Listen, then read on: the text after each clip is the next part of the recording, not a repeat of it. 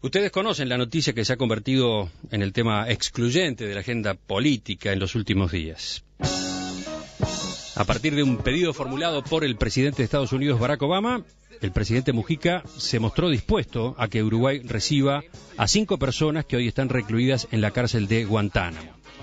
De este modo, nuestro país se sumaría a otros con los cuales Washington viene negociando desde hace meses a efectos de vaciar esa prisión cuestionada por casi toda la comunidad internacional y por el propio Obama, que en su primera campaña electoral, hace seis años, había prometido que la cerraría si llegaba a la Casa Blanca. El asunto, claro, resulta muy polémico. Estas personas que se afincarían en nuestro país fueron capturadas de manera irregular en diferentes países del mundo, bajo el supuesto de que estaban vinculadas a actividades terroristas. Sin embargo, no fueron sometidas a proceso dentro de Estados Unidos, pese a lo cual han permanecido retenidas y maltratadas durante varios años en la base que Washington ocupa en la isla de Cuba. ¿Quiénes son esas personas? ¿Cuál sería el sustento jurídico de ese acuerdo? ¿En qué condiciones vivirían acá? Son solo algunas de las preguntas que por estas horas atraviesan la sociedad y sobre las cuales vamos a conversar justamente con el presidente Mujica. Señor presidente, buen día, gracias por atendernos. Buenos días, buenos días. Eh, en primer lugar, ¿desde cuándo están teniendo lugar estas conversaciones con, con el gobierno de Barack Obama? Ah, hace bastante tiempo. Hace como, no sé, probablemente cuatro meses. La iniciativa eh, fue del propio Obama. ¿Cómo le llegó a usted? Sí, llegó a través de, de mm, los servicios regulares eh, americanos en el país. Son bajadas. Eh, ¿Y cuál fue su primera reacción? Estudiarlo y, y después de estudiarlo eh, contestar positivamente. Eh, ¿Usted contestó Eh, la- positivamente eh, antes de que fuera una misión del gobierno uruguayo a la propia No, no. Guantánamo, según se ha informado? Cuando, cuando dije estudiarlo, incluye todo eso. Informar a los servicios uruguayos, hacer los movimientos que correspondían, las averiguaciones, y después al final llegamos a la conclusión que sí, que valía la pena por lo que estaba en juego. ¿Cuál es su Además, razonamiento? a esa, a esa altura, eh, Suiza, España, Eslovaquia, Portugal, eh, Irlanda, Hungría, Germania, Alemania, Francia, eh, Bulgaria, lo- eh, otros países, y dejo algunos latinoamericanos que no quiero nombrar, habían recibido eh, gente en estas condiciones. A su vez, a esa altura, habían vuelto a Afganistán, a Argelia, a Canadá, al Chad, a Irak, a Kuwait, a Arabia Saudita, a Somalia, a Sudán, eh, a Yemen, prisioneros que tenían ese origen. Eh, ¿Por qué no fueron todos de vuelta a sus respectivos países? Por las condiciones internas de esos países eh, por una razón de seguridad. Bueno, con todo ese cuadro, eh, parecía que esta cuestión de derechos humanos, el poder contribuir para que esta irregularidad manifiesta que solamente puede cometer un país muy poderoso,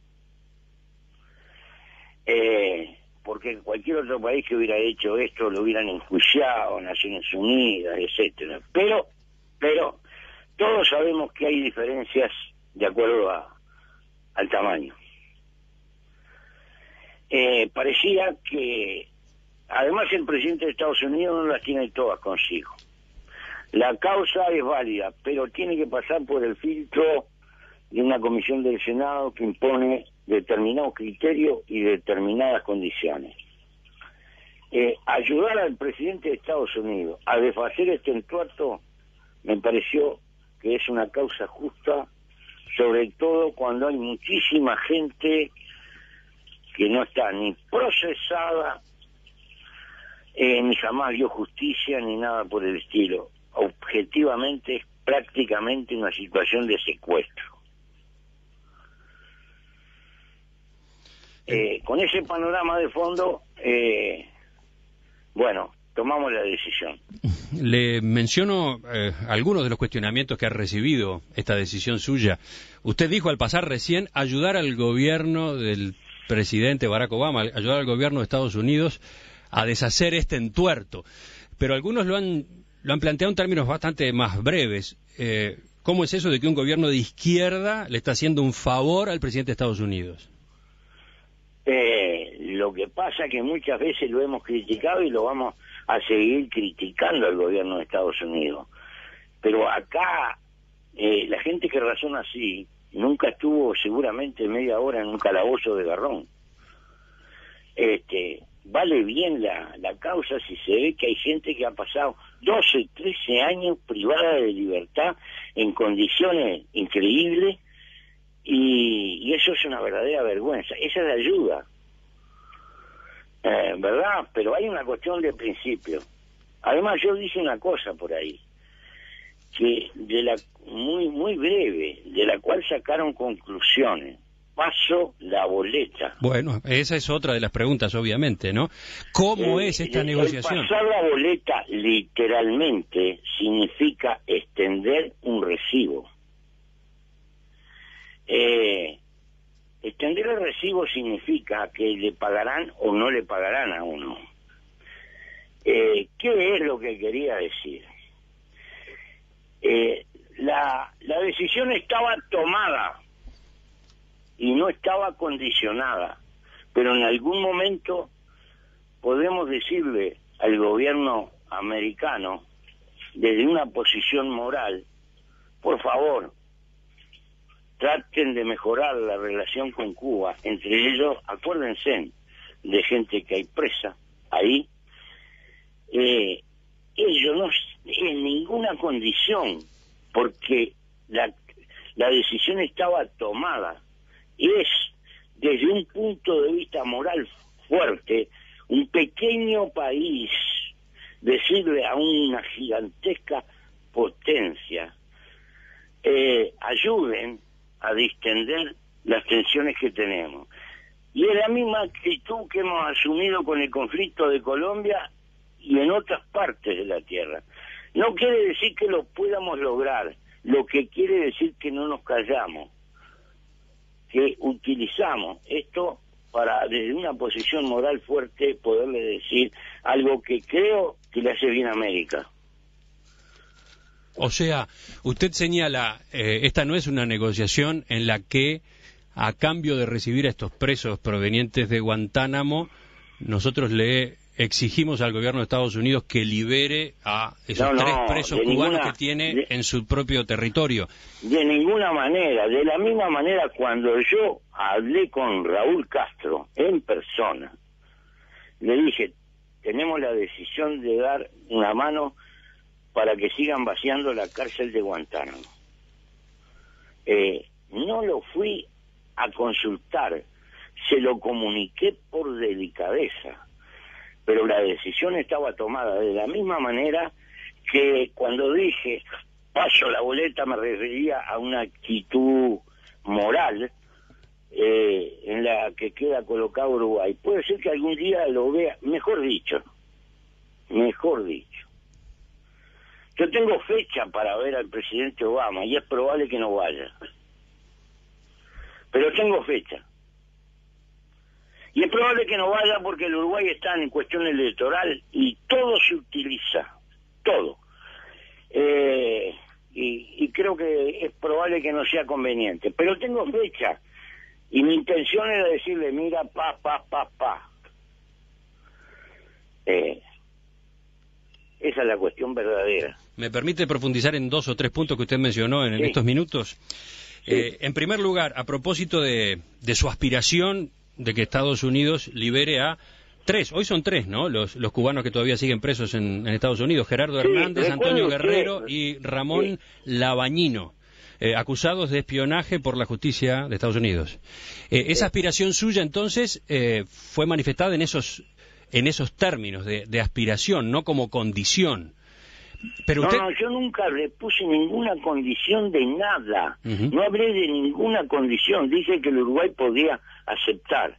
Las condiciones no existen de mi parte. Bien, eh, pero cuando habló con el presidente de Cuba, Raúl Castro, ¿le mencionó esto, que usted iba a plantear esta cuestión, esta inquietud? Le dije que iba a plantear eh, eh, el pedido de que trataran de mejorar la relación con, con Cuba, que tiene múltiples aspectos. Este es uno, pero hay otros. Sí, por ejemplo, el, senador Sergio Abreu, del Partido Nacional, ha dicho que no comparte que usted haya puesto esa aspiración sobre la mesa, que, que, además ni siquiera recogería un consenso nacional. En cambio, sí podría haber puesto el reclamo del cese del bloqueo a Cuba, algo en, el, en lo que coincide todo el sistema político.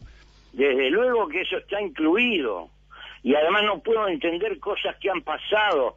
No entiendo las dimensiones del puerto de Mariel que ha hecho Cuba eh, con la ayuda de Brasil.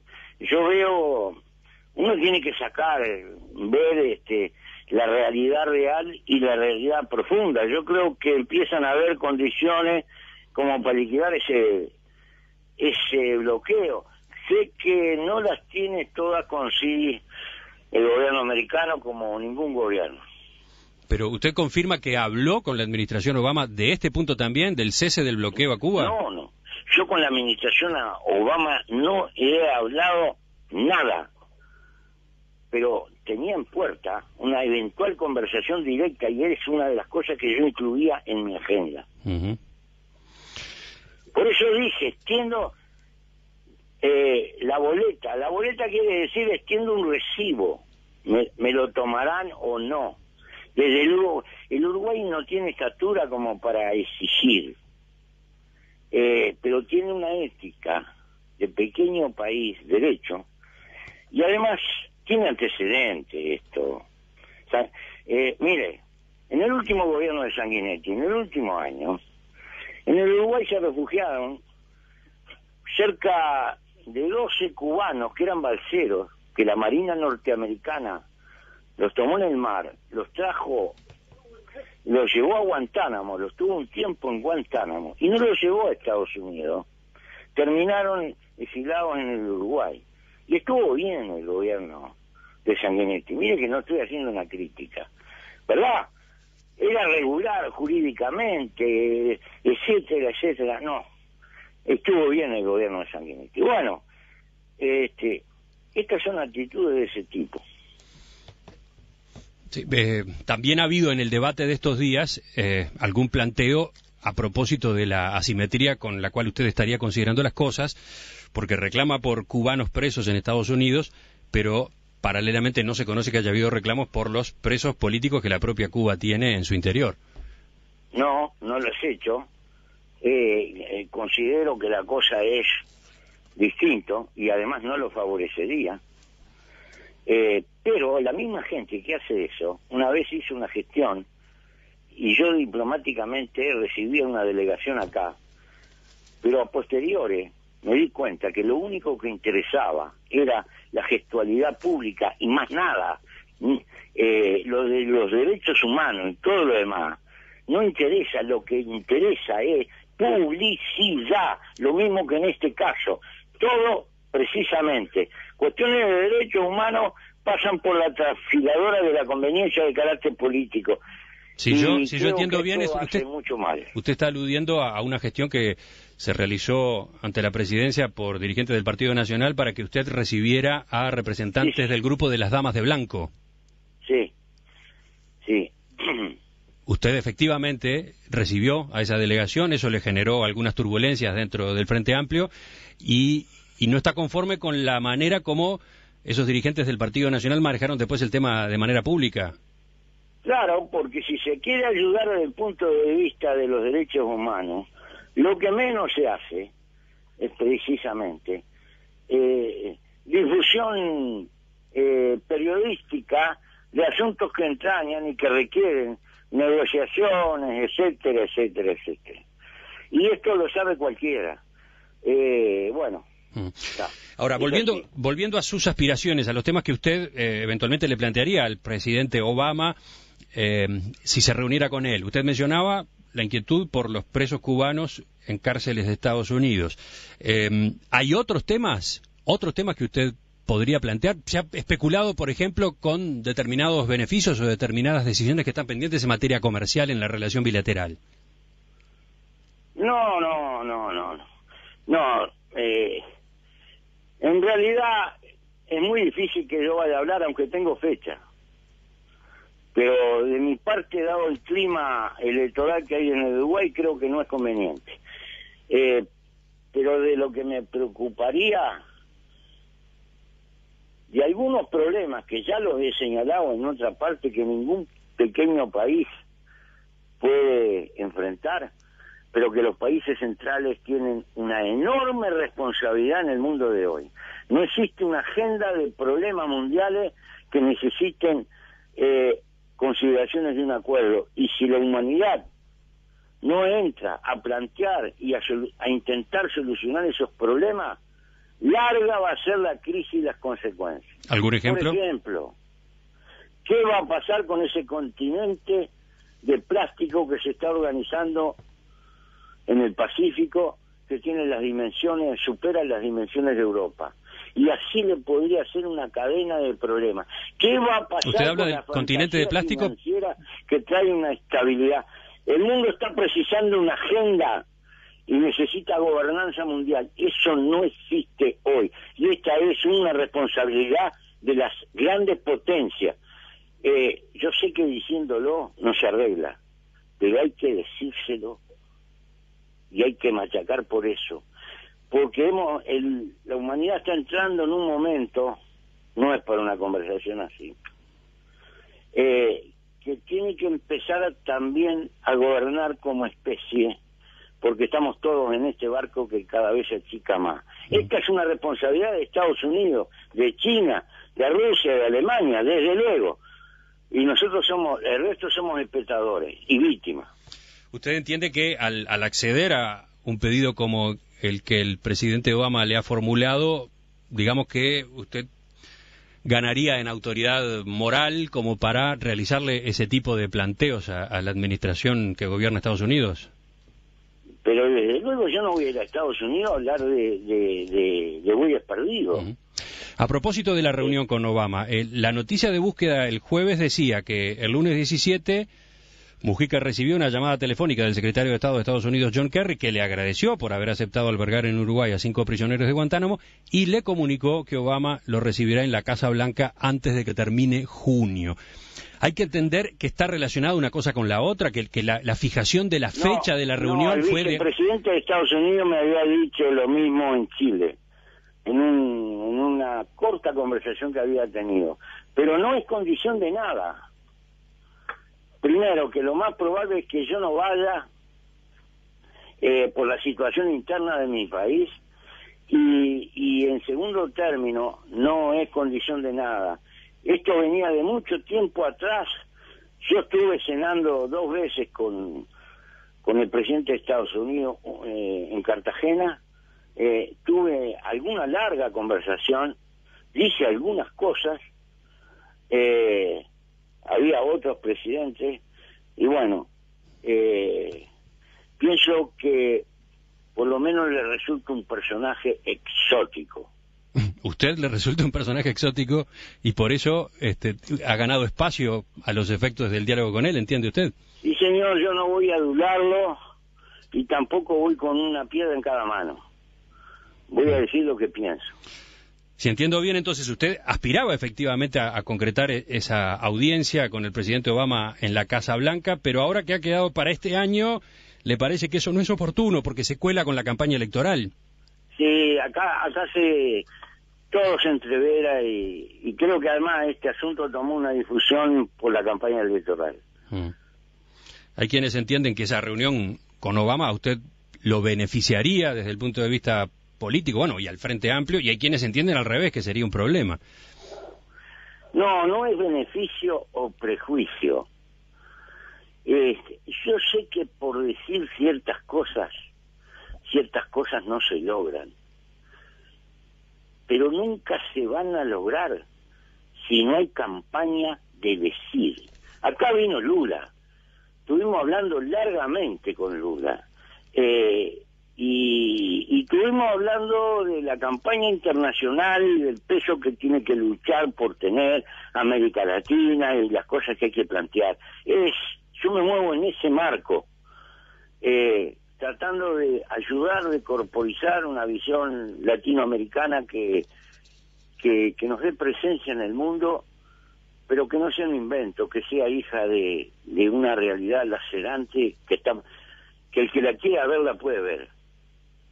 Pero, eh, Cotelo, si el señor Soros, por ejemplo, eh, me pide una entrevista cuando está en Estados Unidos, es un anciano que se ha dedicado a la especulación financiera, pero decido escucharlo y ahí inventan de que el Uruguay se va a meter en, la, en el servicio de transgénesis de la marihuana para que Monsanto haga plata y cuestiones por el estilo. ¿Se da cuenta?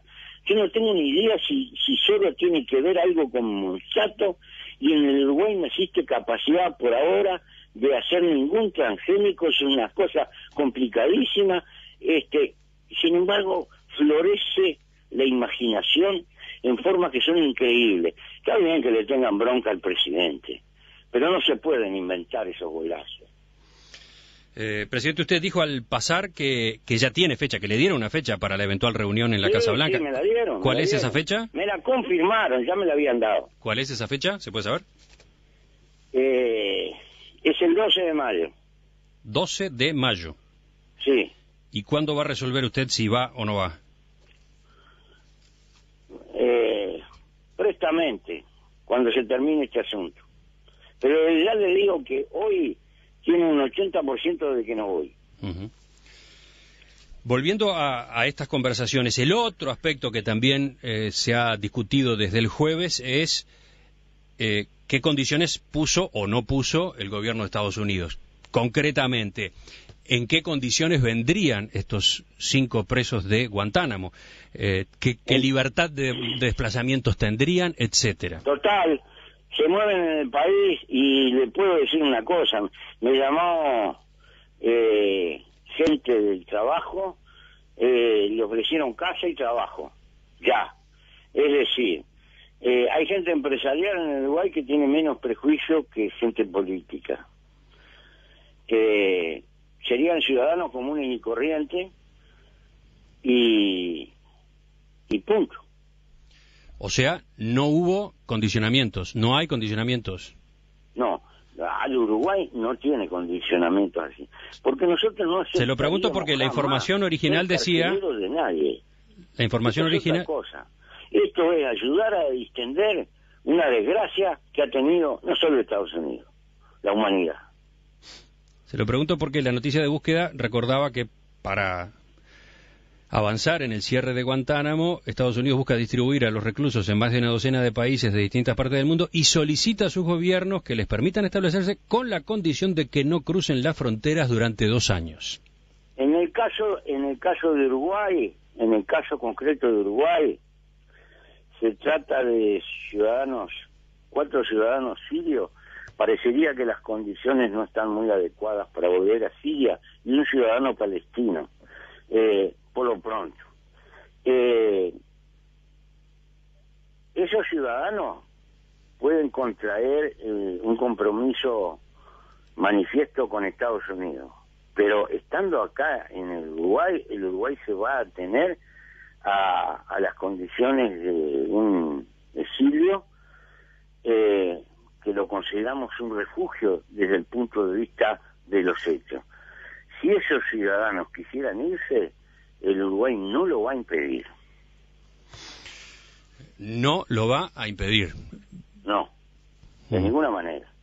Más temprano, cuando entrevistábamos al, al doctor Didier Perti, ex canciller, él señalaba que el, el marco el marco jurídico, lo- los convenios internacionales suscritos por nuestro país y, y los convenios bilaterales con Estados Unidos no habilitan en principio un, un entendimiento como este que usted viene negociando. Eh, hay que entender entonces que habrá que suscribir un acuerdo específico y que este a su vez pasará por el Parlamento para su aprobación.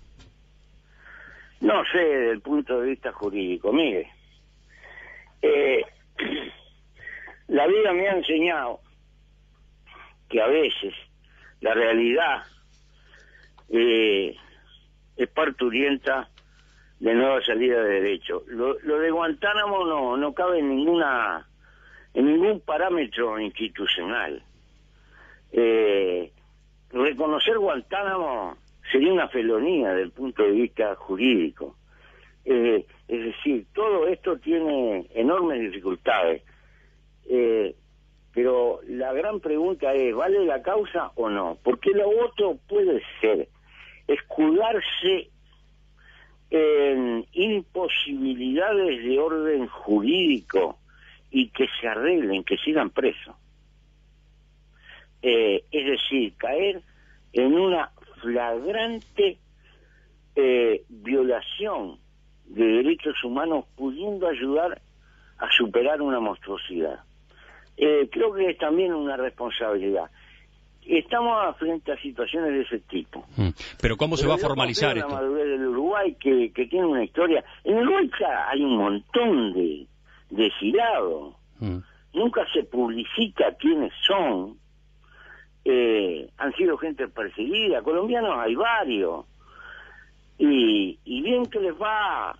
Este, yo creo que esta es una tradición del Uruguay y convendría recordar un poco. Mm. Pero todo indica que un caso como este no encuadra dentro del estatus que habitualmente se maneja como el de los refugiados, ¿no? Mire, cuando usted habla con un jurista, tiene una versión hacia un lado muy correcta. Habla con otro, puede encontrarse con otra versión. Eh, hay juristas que opinan distinto a lo que opina Operti, bueno, pero yo no voy, no tengo ninguna autoridad jurídica para discutir con el doctor Operti, al cual le tengo eh, íntimo respeto y consideración. En cualquier caso, eh, ¿cómo va a manejar este asunto en la relación con la oposición? Da la impresión de que es un asunto suficientetemente delicado como para que tenga que haber un, consenso amplio al respecto, La oposición ¿no? me vino a hablar a mí para averiguar algo. Lo único que hizo la oposición es hacer comentarios a la carrera. Sin el más, este, no le interesó la verdad a la oposición porque está en clima electoral este lo, lo podía haber hecho. Lo único que hicieron fueron comentarios de inmediato, al instante, sacando conclusiones fatales. Hubo gente que dijo cosas en sus espacios eh, que parece que no tuviera memoria, porque si los suecos hubieran tenido de esa manera de razonar, jamás este, los uruguayos hubieran estado refugiados en, en Suecia y cuestiones por el estilo. Por suerte hubo gente y países que tuvieron otra actitud. Entonces usted no recibió ninguna llamada de líderes de la oposición para consultarlo sobre este asunto. Absolutamente nadie. Y saben que tienen una presidencia de puertas abiertas. Ahora ya no tiene ningún sentido consultarlo. Por último, eh, dentro de las inquietudes que han circulado desde el jueves, eh, hay varias que tienen que ver justamente con lo que implican de, riesgo estas personas una vez albergadas en nuestro país. Y, ha habido desde, desde, el temor, directamente el temor, hasta, bueno, eh, llamados de advertencia. Y en este último sentido menciono el de alguien que usted conoce muy bien, el de Mauricio Rosenkopf, el viernes en nuestra tertulia. Rosenkopf hacía notar que estas personas seguramente tienen su encuadramiento con organizaciones, eh, organizaciones algunas de las cuales a su vez están eh, consideradas este, terroristas y, un peligro por bueno, distintos gobiernos, organizaciones internacionales, etcétera, y que el hecho de que vengan acá va a implicar, por ejemplo, que a su vez terminen viniendo aquí también dirigentes, este, representantes de esas organizaciones a reunirse con ellos, etcétera. Eh, ¿Ustedes han valorado eh, ese tipo de, de, perspectivas? Lo que pasaba con los tupamaros en Suecia, ¿verdad? Bueno, digámoslo así, digámoslo así. Algo bien parecido, haber recogido a los tupamaros en Suecia y etcétera, y después iban dirigentes a hablar y todo lo demás, ¿verdad? Eh, algo similar. Eh, bueno, yo no quiero contestar, eh, pienso que no es así, porque en definitiva ese Ciudadano, por lo visto, sabe más que el gobierno norteamericano y de todos los servicios de inteligencia porque hemos tratado de averiguar todo lo que se ha podido y no tenemos nada. Y, seguramente que Estados Unidos no tiene nada porque si no, no daría este paso. Pero bueno, allá, allá eh, las especulaciones son gratis. Lo último, también manejaban eh, en la tertulia, incluso el propio Rosenkopf, qué podía pasar con la reacción de la comunidad judía en Uruguay. ¿Ustedes han eh, tenido en cuenta ese factor? Sí, por supuesto que lo hemos tenido en cuenta. Y de la comunidad siria y todo lo demás, por supuesto que lo tenemos en cuenta. Y a una parte de esa comunidad, en su debido momento, se hablará con ella con el respeto que merece. Y con la consideración que merecen todas las colectividades que de una forma u otra pueden tener inquietud el más amplio respeto y, y el muy tener en cuenta sus puntos de vista. Para terminar, eh, señor presidente, ¿cómo sigue esto? ¿Qué va a pasar en los próximos días? ¿Cuándo se redondea el acuerdo? va a pasar, eh, se tomará una decisión. Todo depende de la decisión que tome una comisión del Senado norteamericano. ¿Del lado suyo, del lado del gobierno uruguayo, esto ya está terminado? Eh, ¿Hay algún contacto nuevo previsto? No, no. Nosotros no tenemos ningún contacto. Este, eh, es una cuestión de tiempo, pero ya veremos. Si hubiera cambio, lo avisaremos oportunamente. No habíamos querido difundir esto, salió por, por escampo periodístico, porque no ayuda a los a gente que se tiene que erradicar, etcétera, etcétera, se crea una presión de medio ambiente que no parece favorable. Pero bueno. Por lo visto, no fue de su boca que partió la información que se publicó el jueves. No. Señor presidente de la República, José Mujica, le agradezco eh, su atención a nuestra llamada y sus respuestas a estas preguntas. Gracias, gracias. Volvemos a conversar en cualquier momento.